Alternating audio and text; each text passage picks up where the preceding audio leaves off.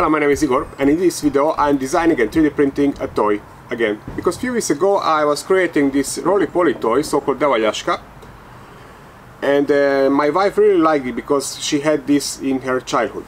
And she asked me, can I 3D print a Yula? What's Yula? After a quick search on internet I found out it's a spinning top toy. Okay, I created one in the Fusion 360, very simple version, only three pieces, you have to screw it together there are no metallic parts, everything is in plastic. Even you can place a piece of paper between two pieces and then you don't even have to glue it. And it's immediately replaceable and it's spinning good. So I can, uh, it will spin maybe one and a half minutes approximately. But then uh, my wife told me that no, no, no, the version she had in her childhood, um, you have to pump it. Pump another quick search on internet and I find out oh that's a mechanical version.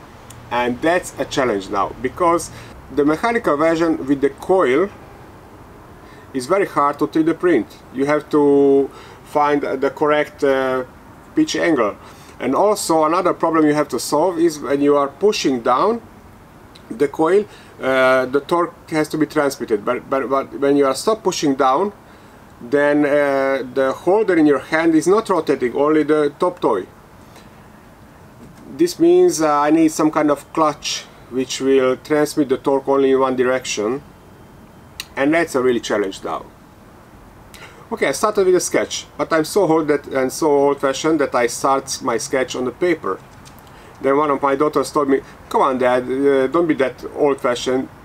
Use some electronic device." then I took her tablet, you know, with a pen and I draw this. I even uh, calculate the dimensions for my pitch because I want 60 degree pitch angle and only after this I started with Fusion 360. I cannot talk about each design step I made because it would be too long. Instead I will talk about each 3D printed part. There are 10 parts here I will talk about them separately because we cannot see when I try to make these some objects transparent. Even in a section analysis it, it, it may be too complicated for the description. So let's talk about each part one by one. There is a bottom part.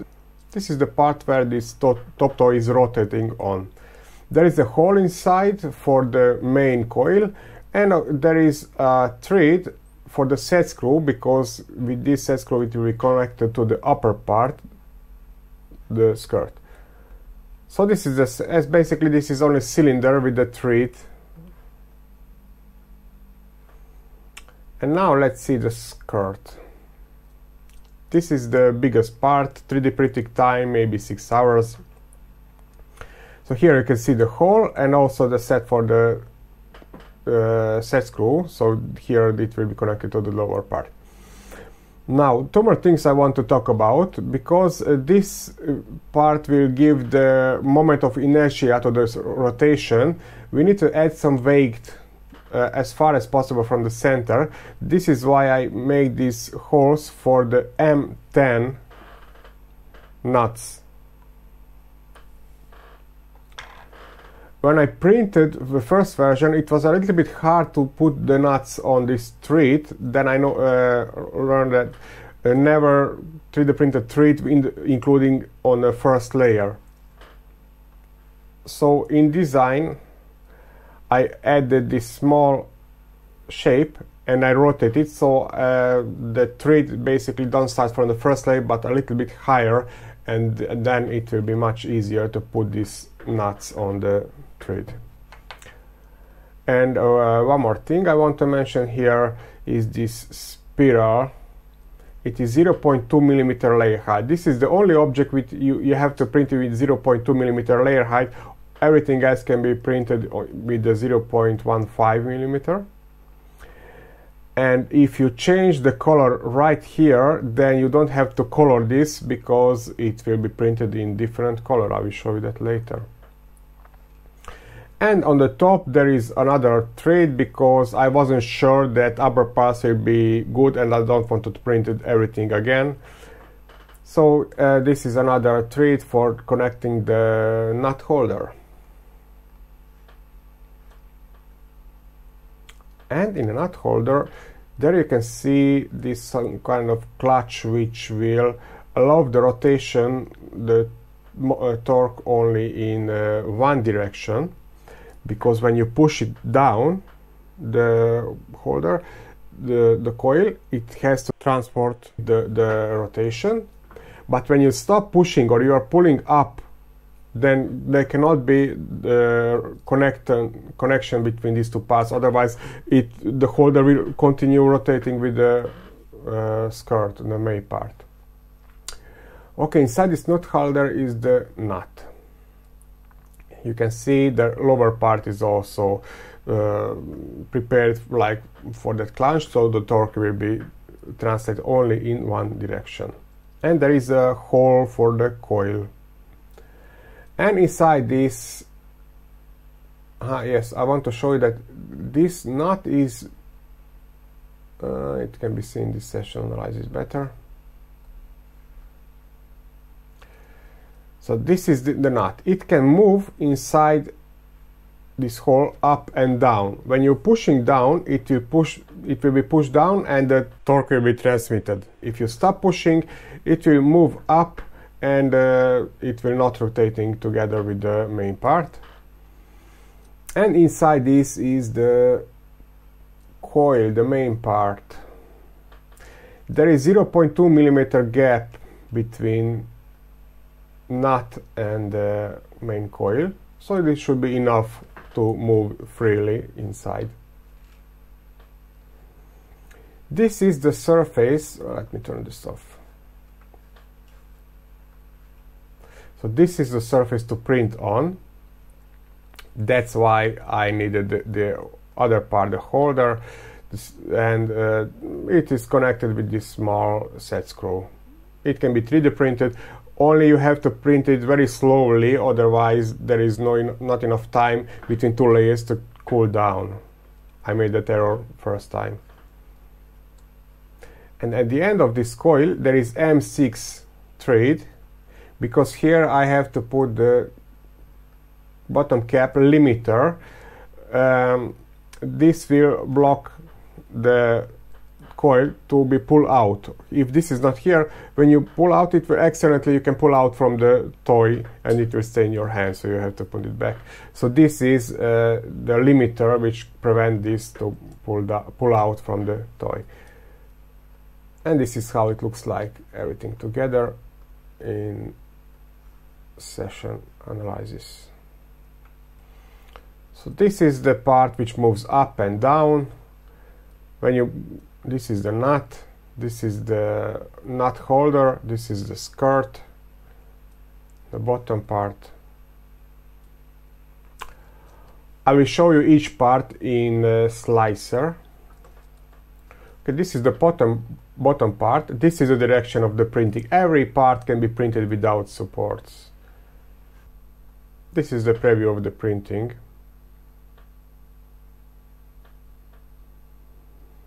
If you want to make it stronger, you can raise the number of the perimeters. This is the cap. Uh, also has to be printed in this direction without support.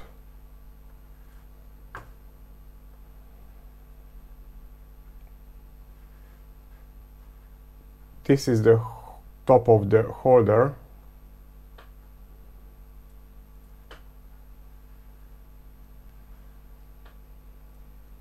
This is the nut and it also has to be printed in this direction. This is the preview of the printing.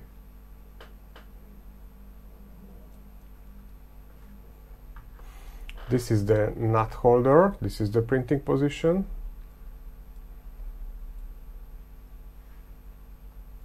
Let's preview the printing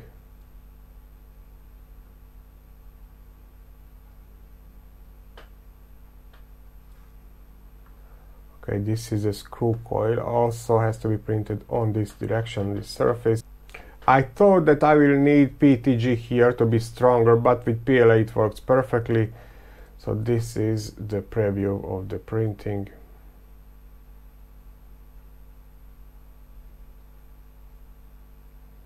To make this stronger also don't forget to raise the number of the perimeters. This is a set screw for connecting uh, bottom part and the skirt. And this is a set screw to connect the coil and the top holder. Here I had a problem because uh, I was printing with normal speed but this is so small object that there is not enough time between layers to cool down. So here I have to slow down to 60% speed printing speed and then it was uh, worked correctly. The top cap uh, this is the direction of the printing.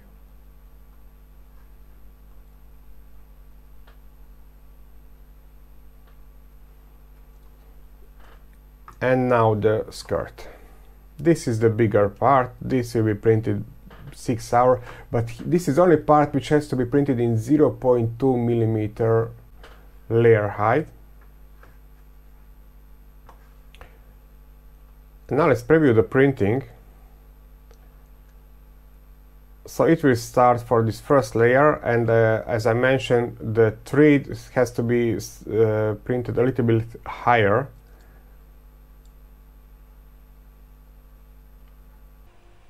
This is important position, 10.2 millimeter layer height. Here you have to insert the color change and then this spiral will be printed in different color. Then you don't have to color this with your hand or, or any other method. And I will add another color change on 15 millimeters. Because everything will be red, only this spiral and this smaller part will be in white in my case okay and this will be printed six hours so that's why I separate this because I don't want to print again everything if the nut or, or uh, coil will not work in my case. Okay let's print now each part. Let's see that too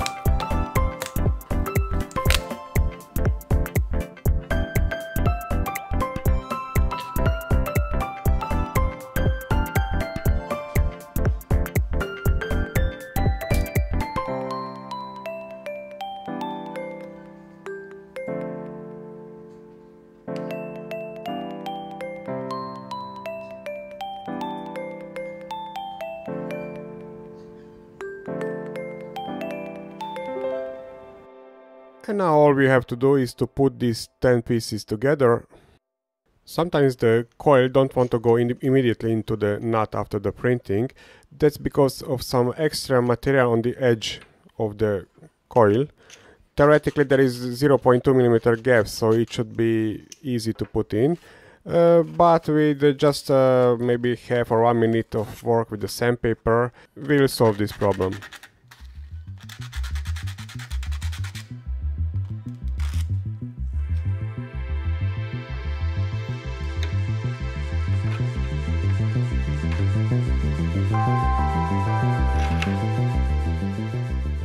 And about small treats, I usually use standard treats in design.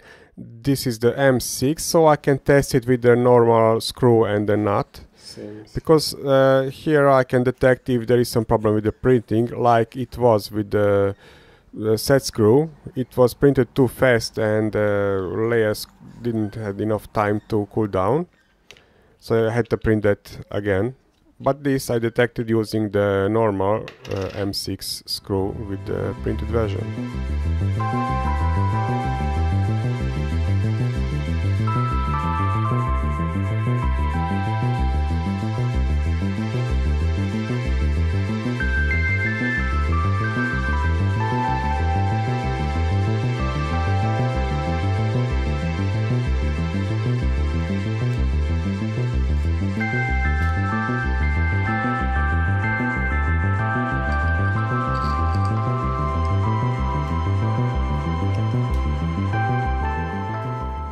This is now the clutch for the nut. Theoretically, if I would design some kind of spring inside it, which will automatically lift if it's not pushed down, then there wouldn't be the noise you will hear later. But I didn't want to use those metallic parts, which is hard to uh, find, it's not too standard.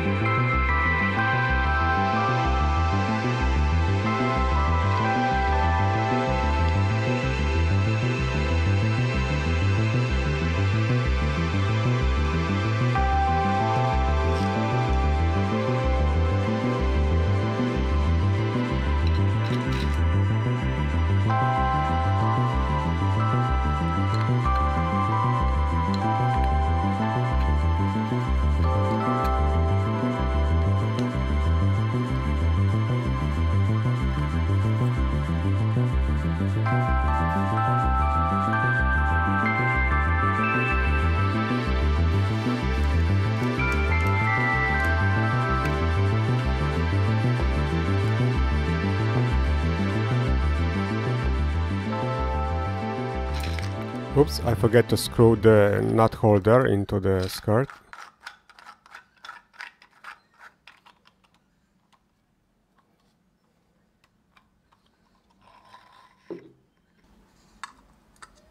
And now let's uh, screw in those nuts, metallic nuts for the weight and better moment of inertia because it will rotate much longer.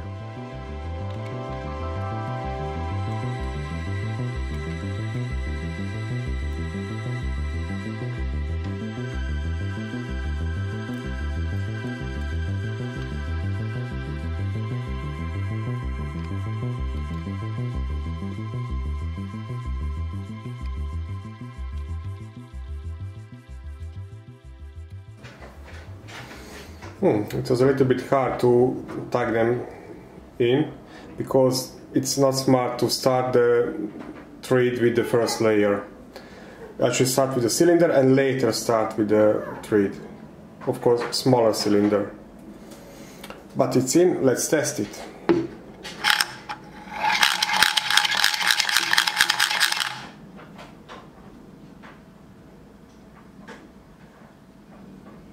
So not bad but my wife told me this is too short. To make this longer, I have to raise this part here. So it will be somewhere here and then I can extend this screw.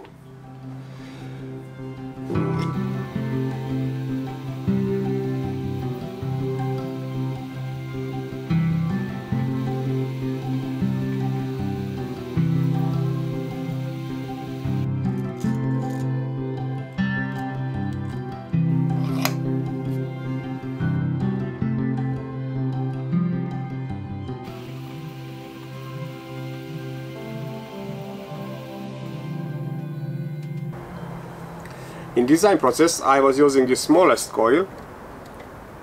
And after my wife told me that no it's too short it doesn't feel comfortable then I designed this longer one. I think it's 30 millimeters longer.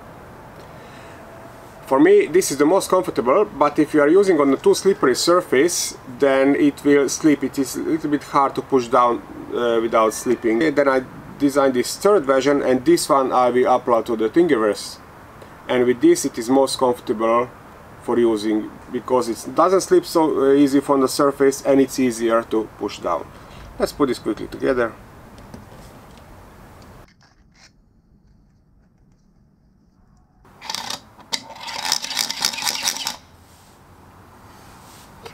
Well, I hope you like this video and uh, I learned a lot from this project. I hope there was something new to you too. Thank you for watching and follow me to my next video. Bye.